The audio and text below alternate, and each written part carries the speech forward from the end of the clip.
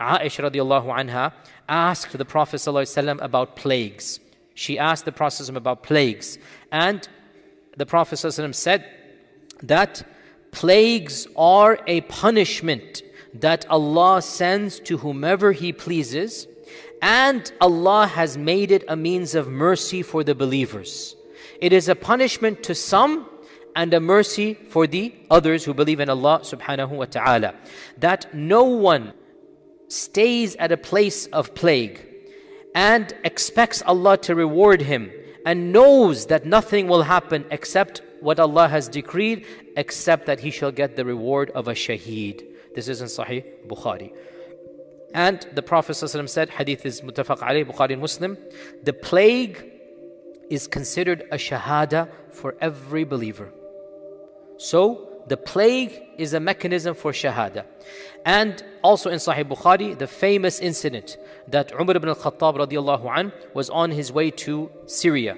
And Abu Ubaidah, Amir ibn al-Jarrah met him uh, on his way back. And there was a plague in that land.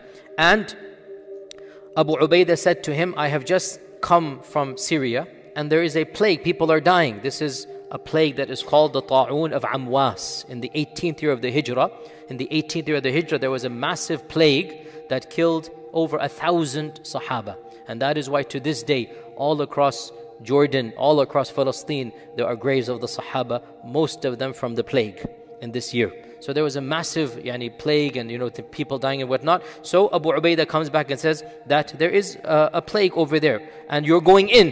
Why are you going in? So Umar ibn Khattab said, call for me the muhajirun. So all the muhajirun uh, came. And he asked them, what do you think we should do?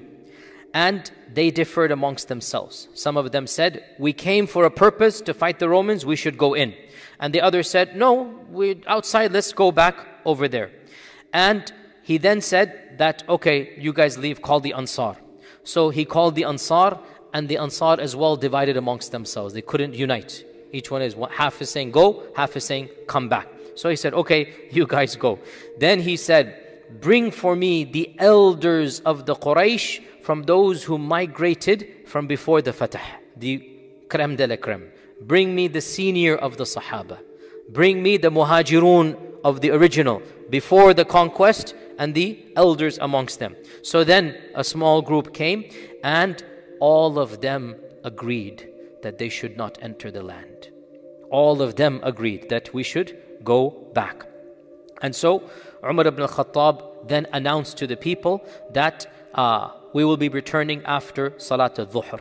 After Salat al-Dhuhr, we're going to pray and then we're going to go back to Medina. We're not going to enter the land. The plague is in the land. We haven't come there. We're going to go back. Abu Ubaidah became frustrated, said, Ya Amir al Mu'mineen, that are you running away from the qadr of Allah? This is a famous, famous phrase. Are you running away from the qadr of Allah? He res- responded, We are running from the qadr of Allah to the qadr of Allah subhanahu wa ta'ala. This is all Allah's qadr. Okay, we are running from the qadr of Allah to the qadr of Allah. And then he gave another example as well. Then Abdurrahman ibn Auf was away on a journey or something. He came back and he said, I have something you should all hear. I heard the Prophet ﷺ say, the hadith is in Bukhari and Muslim. I heard the Prophet ﷺ say, if the plague comes in a land where you reside, do not exit fleeing from the plague. And if the plague comes in another land, do not enter that land. And so he brought an evidence that is explicit. And Umar al-Khattab thanked Allah subhanahu wa ta'ala for being guided to the truth before he even heard the explicit evidence for this. Now, by the way, this incident is so profound. So many things can be derived. Of them, the true leader always does shura. Of them, no matter how great the Sahaba were, their opinions are not divine. All the Muhajirun are divided, all the Ansar are divided. Of them, yes, seniority and wisdom plays a role here. That's why I said, Mashikhatul Quraysh, the youngsters are very impetuous. Youngsters want to do things rashly, like the Battle of Uhud. And so when the youngsters are there, half of them are saying, Let's go in, why are we running away? And as I said many times, life teaches you what books and lectures will not teach you. Going through life will teach you, what books and lectures will not. And the impetuousness and rashness, which is a common trait of youth, not just of Muslim, of all youth, it tempers down, you get wisdom. So the elders said, We're not there, the problem's over there, why can't we go? Use common sense, and then the evidence arrives, and the evidence is quite explicit in this regard. So, from these evidences, pretty much all the ummah is pretty much yani, clear in this. Ibn Hajar summarizes it, and he says that. Uh, that uh, the one who leaves a plague infested town running away from the plague, this is sinful in the eyes of Allah. That it is haram if the plague infects your town and you leave because you are scared of the plague. Then he says, and there is ikhtilaf if you already had a journey planned and you're going for another reason. There is ikhtilaf and it goes back to your niyyah any calamity, especially a plague, is a punishment to some and a mercy to others. This is very clear. It is incorrect to extrapolate and say this is a punishment to everybody because the hadith is very clear. Also, a punishment for sins to certain people, no problem. But for anyone else to specify because of this sin, how do you know? You are now speaking on behalf of Allah subhanahu wa ta'ala. We do not specify. We are very, very irritated and angry at what is happening to our Uyghur brothers and sisters. We know that that government is a tyrannical government. We know that it is now going down a path of Nazi fascism.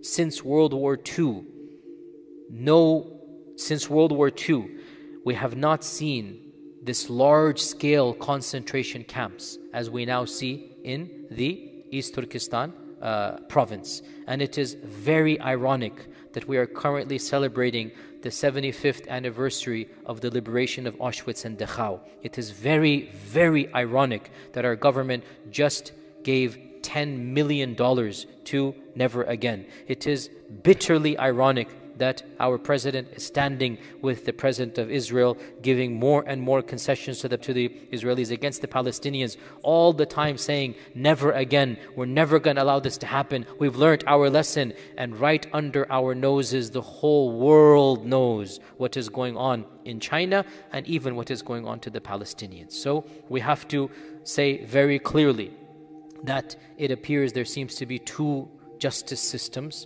and two different rules by how people are judged, and not all bloods are equal in their eyes. This seems very clear as well. Nonetheless, our anger at the Chinese government and what it is doing does not allow us to go beyond what is right. Allah says in the Quran, this is explicit. لا يجرمنكم شنآن قوم على ألا تعدلوا اعدلوا هو أقرب للتقوى.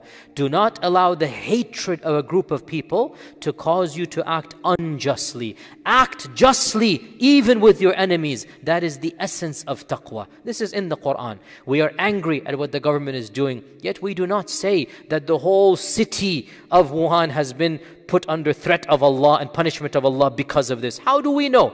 By the way, maybe it is, but maybe not. It's not my business to say. All that we can say, any calamity could be a means of punishment. And yes, when a sin is public, then generally speaking, you know, the, eh, there is, it is true, generically speaking, that it is possible that Allah's adhab comes, but we never generalize to everybody because there are innocent people there and there are people that have nothing to do with the crime. And we cannot just say all of them are evil and going to Jahannam. It's not their fault what is going on. This is the opportunity to in this dunya be compassionate, send any aid if possible, and in a religious perspective, give da'wah. And there are Muslims in that city, by the way. There are graduate students studying in that city. There are local Chinese Muslims in that city as well. It's not as if we have to strip ourselves of our complete humanity. There are people that are suffering that don't deserve to suffer, and it will be, inshaAllah ta'ala, a means of rahmah for them. It is not adhab for them. There are people upon whom this is not adhab, but rather a rahmah. So we do not generalize and say that all of them are suffering. And also, there's an element that I saw myself very clearly online. Some Muslims seem to be happy that this is happening. And we do not take happiness in the pain and suffering of innocent people. These people were not the ones who put the Muslims in prison. These people are average human beings would you like it? And by the way, the same justification is used when this country is attacked by the crazies, by the radicals, and they say, all you guys are guilty, all you guys are evil. They use the same justification. We don't like it then. No, not everybody is guilty. We live in this land. We can speak. So then why are we applying it over there? Why are we having a double standard? We know the reality that our government can do some very evil things, but not all the people are evil. We know this reality. These are innocent people, even if they're non Muslim we ask Allah to guide them, but we don't gloat at a tragedy happening to them. And there are also Muslims over there. So the bottom line, yes, it is true. Allah says in the Quran, any evil that happens to you is because of what you have done. But then what does Allah say? وَيَعْفُ عَنْ كَثِيرٍ Allah can also forgive because of this. Now is the time to be compassionate, to help them out, and to give them da'wah as well. The turn to Allah subhanahu wa ta'ala. And those who do so, this will be a means of rahmah for them, not a means of adhab. And with that, inshallah ta'ala, we conclude for today.